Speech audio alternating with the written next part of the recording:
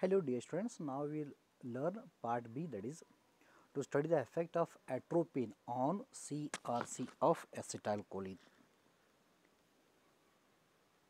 So regarding atropine, it is a antagonist of acetylcholine and acetylcholine it releases from the synaptic vesicles and binds on the nicotinic receptor or cholinergic receptors or muscarinic receptors and opens the sodium channels. So, due to entry of sodium inside the cell is causes depolarizations. Then depolarization is responsible for entry of calcium and as well as release of calcium from the sarcoplasmic reticulum. So, like that the calcium concentration was increases in the muscle cells. So, increased calcium concentration it can cause the skeletal muscle contraction.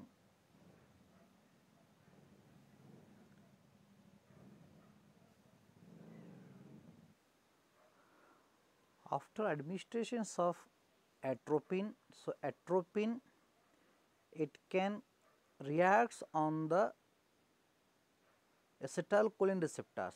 So, then the acetylcholine is failed to bind on the acetylcholine receptors like nicotinic and muscarinic. So, due to lack of binding it can inhibit the opening of sodium channels then it can inhibit the depolarizations and release of calcium and entry of calcium. So, like that atropine it can antagonize the activity of acetylcholine on nicotinic cholinergic as well as the muscarinic cholinergic receptors. So, aim of this practical is to study the effect of atropine on DRC of acetylcholine using rat ileum. So, requirement animal rat ileum drugs like acetylcholine stock solution 1 mg per ml, atropine sulfate stock solution 1 mg per ml and physiological salt solution is a Tyrode solution.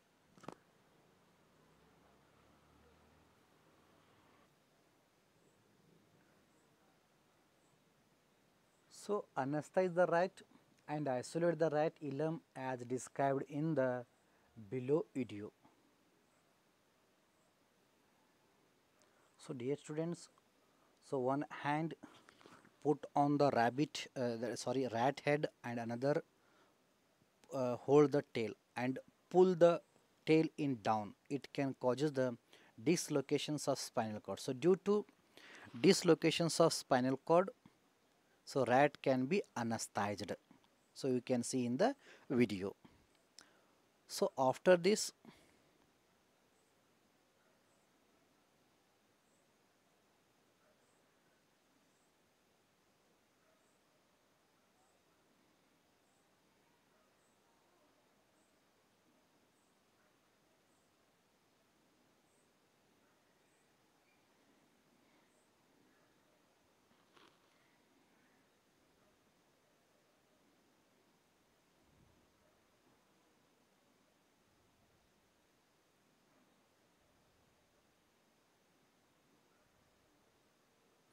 prepare the animal for to cut the abdominal cavity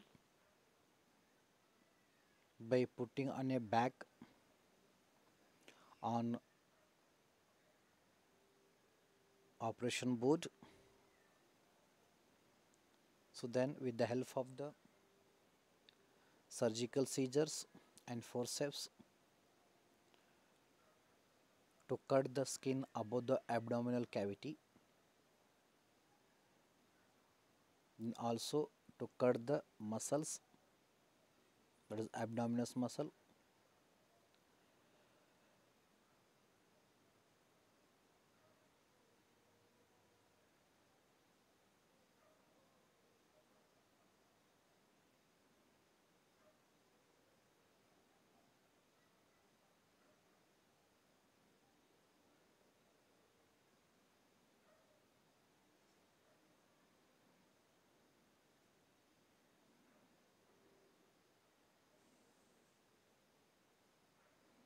so that is cutting the, the thoracic cavity to smooth helpful for to so smoothly remove the GIT tract outside the animal body. or from the abdominal cavity. So, this is the stomach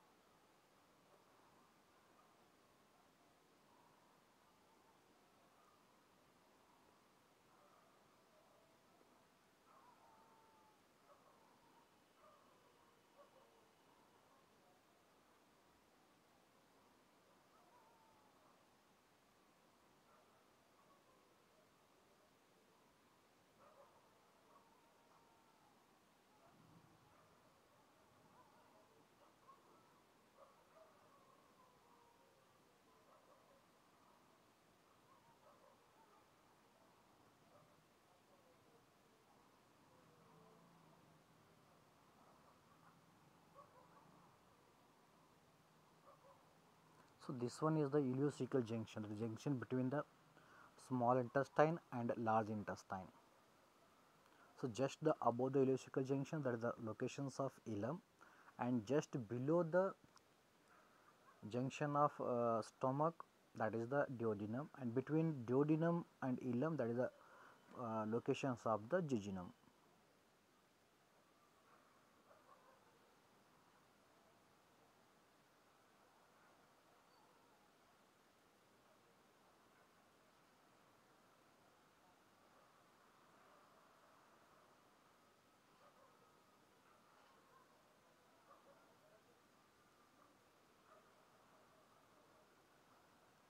From ileocecal junction?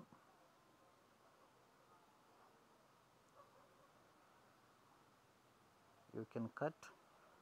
So that is the start of the that is, that is the end of the ileum from the above that is all part is a ileum just above the ileum that is the jejunum and above the jejunum that is the duodenum. So the one third of the small intestine that is the ileum so that's why we are cutting the lower part or above the ileocecal junctions. So, then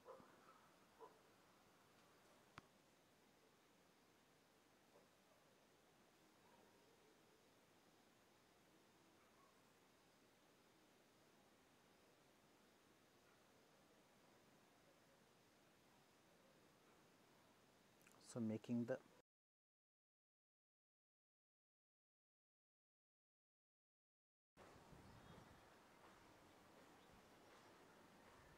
So, after this set up the instrument organ bath as described in the experiment number 5 then the temperature of student organ bath is maintained about 35 degrees centigrade. So, this is the typical student organ bath. So, where the tissue can be isolated and keep ready for the to conduct the experiments.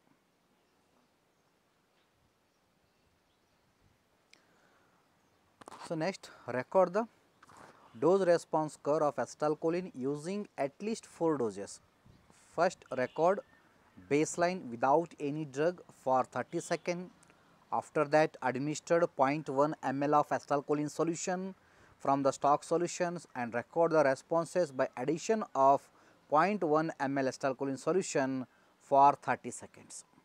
So, after 30 seconds stop the drum and change the ringer solution at least 2 to 3 times. It, it is helpful for to remove the drug from the solution then the tissue is relaxed and it came to its real positions or original position. So, after washing period once again record the baseline for 30 second.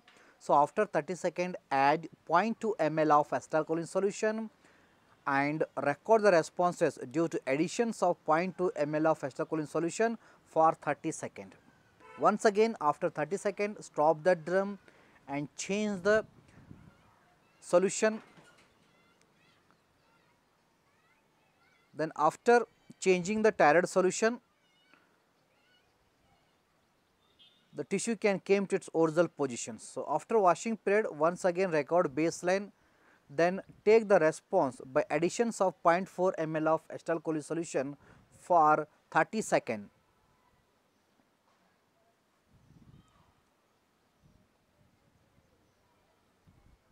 After 30 second stop the drum and change the Tyrode solution and after washing period once again record the baseline without any drug for 30 second then add 0.8 ml of acetylcholine solution and record the responses due to additions of 0.8 ml of acetylcholine solution uh, for 30 second. So, after 30 seconds stop the, stop the drum and change the Tyrode solution. So, this is the DRC of acetylcholine alone without any atropines. So, after add atropine 2 microgram per ml to the reservoir containing Tyrode solution and irrigate the tissue with atropine ringer for 30 minutes. So, repeat the concentration response curve of acetylcholine in the presence of atropine. So, here the dose of acetylcholine is similar the previously used only you can once again recheck the activity of acetylcholine in the presence of the atropines.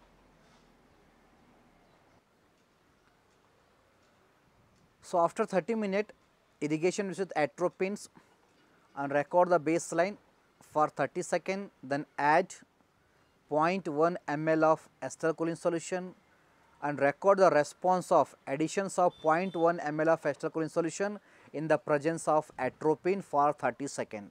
So, after 30 second wash the tissue by removing the Tyrode solution then after washing period once again record the baseline for 30 second then add 0.2 ml of acetylcholine solution and record responses of 0.2 ml of acetylcholine solution in the presence of atropine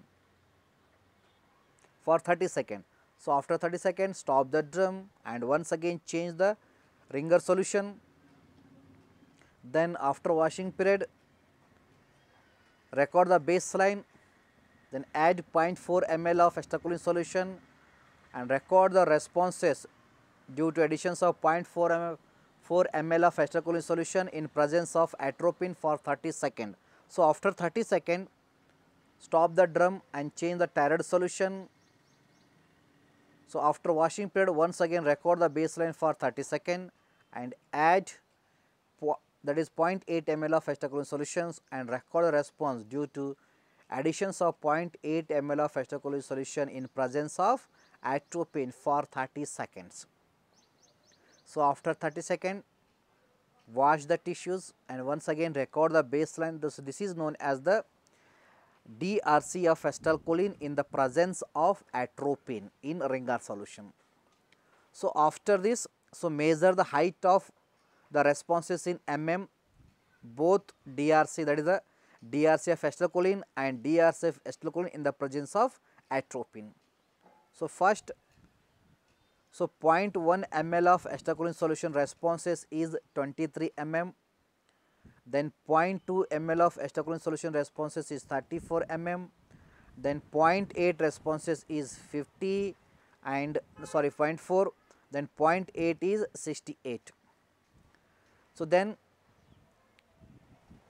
height of 0.1 ml of acetylcholine solution in presence of atropine is 17 and regarding 0.2 ml in presence of atropine is 24 mm then 0.4 ml of acetylcholine solution in presence of atropine is 37 and like that 0.8 response in presence of atropine is 47 mm.